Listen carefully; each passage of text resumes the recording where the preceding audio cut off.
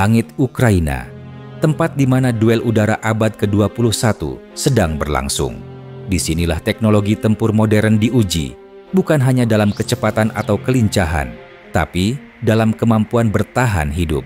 Rusia datang dengan kebanggaan mereka. Sukhoi Su-35S, jet tempur generasi 4 plus plus yang dirancang untuk mendominasi udara. Besar, cepat, lincah, dan mematikan. Tapi bahkan pesawat sekelas Su-35 tidak bisa terbang dengan bebas. Ketika menghadapi musuh yang tidak bisa dilihat dengan mata, sistem pertahanan udara yang diam, tapi siap menembak tanpa ampun.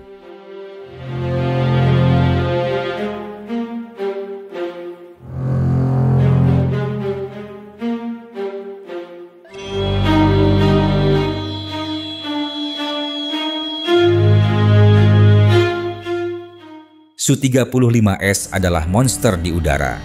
Mesin ganda AL-41F-1S yang bertenaga, radar Irbis I yang bisa melacak puluhan target sekaligus, dan sistem dorong vektor 3 dimensi yang memungkinkan manuver ekstrim dari putaran tajam hingga Cobra Pugachev yang legendaris. Di atas kertas, Su-35S mampu menantang siapa pun.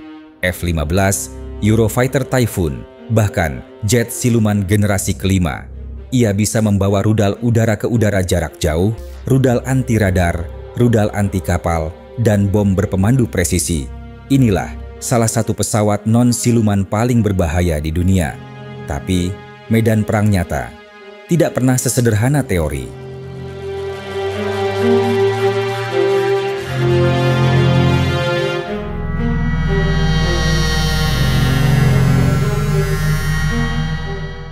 Ketika Rusia mengerahkan Su-35 dalam invasi ke Ukraina, mereka berharap bisa menguasai langit dengan cepat.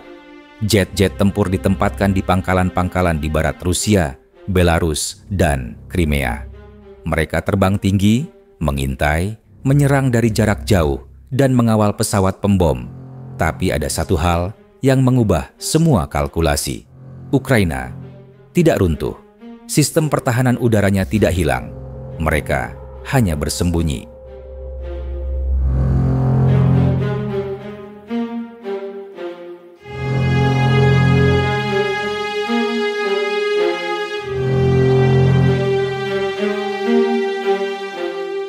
S-300, Buk M1, dan OSA dari era Soviet tetap aktif, dan perlahan bantuan dari Barat datang.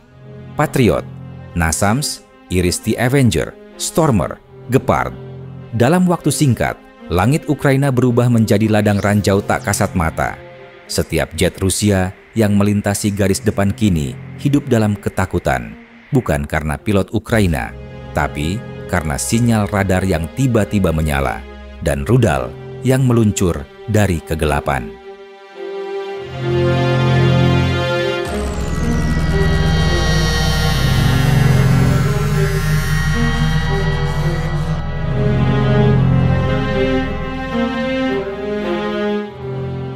Beberapa Su-35S jatuh. Beberapa lainnya kembali dengan lubang di badan pesawat. Pilot-pilotnya terpaksa terbang dari kejauhan. Mereka tidak bisa masuk terlalu dalam.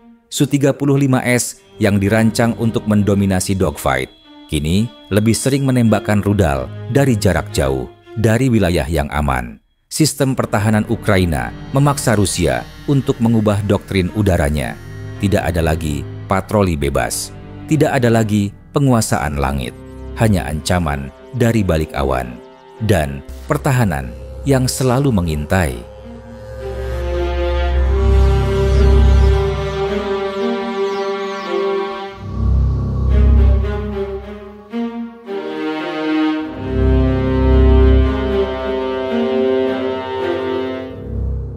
Di satu sisi, Su-35 adalah lambang keunggulan mesin dan desain aerodinamis. Tapi, di sisi lain, pertahanan Ukraina adalah lambang kecerdikan, sistem lapis demi lapis yang mengandalkan radar, sensor, dan koordinasi. Setiap sistem punya perannya. Patriot untuk rudal balistik dan target strategis. Nasams dan Iriste menjaga kota-kota besar. Stormer dan Gepard menangani drone dan serangan mendadak. Dan di antara semua itu, para operator Ukraina bekerja dalam diam, membaca sinyal, menunggu momen, lalu menekan tombol peluncuran.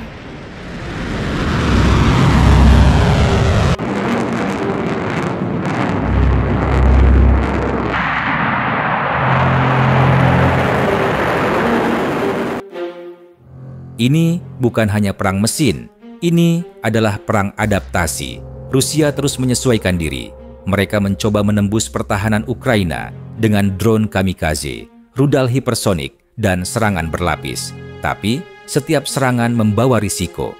Setiap Su-35 yang terbang lebih dalam semakin dekat dengan bahaya. Dan Ukraina, mereka tahu mereka tidak bisa menang di langit dengan jumlah pesawat, tapi mereka bisa menang dengan pertahanan, dengan membuat Rusia takut untuk masuk, dengan membatasi ruang gerak, dengan membuat setiap kilometer langit menjadi pertaruhan hidup dan mati.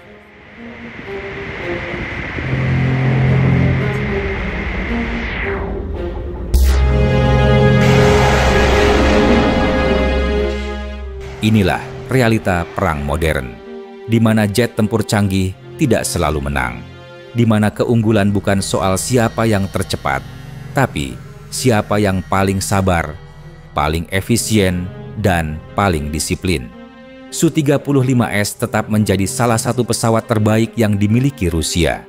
Tapi, selama langit Ukraina dijaga oleh sistem pertahanan berlapis, jet-jet ini akan terus beroperasi dari jarak aman, menyerang dari jauh, dan bertahan dari senyap.